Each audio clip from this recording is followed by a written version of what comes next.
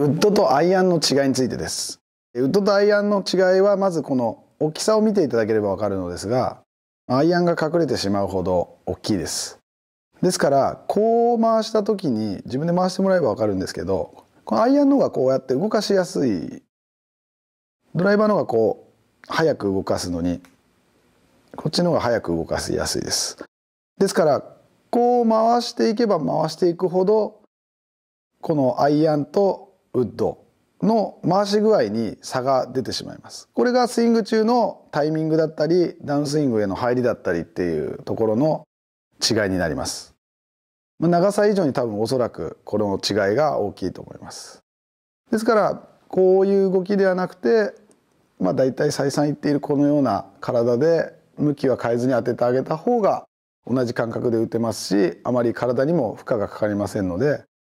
まあ、こっちを回さずにこういう状態で打ってあげるっていうことが大切になります。クラブを回してあげていくとこのようにすごく後方にクラブが上がっていってしまいます。そうなるとどうなるかっていうと後ろから前に出ていくような動きが強くなってしまいます。でそのため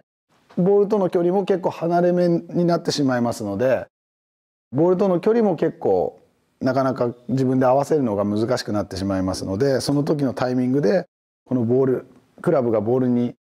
飛んでいくタイミングをこう自分で覚えていかないといけませんので合わせるのになかなか難しくなってしまいます。ですからあまりクラブを回さずにそのまま構えたところに戻していくようなイメージで振っていただければ比較的当たりやすくなってきますので自分が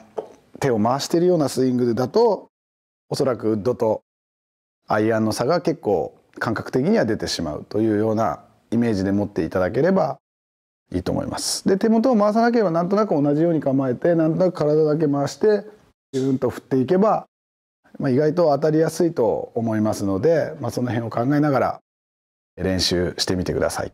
いつも動画見ていただきありがとうございます。チャンネル登録、評価お願いします。ゴルフでわからないことは下のコメント欄に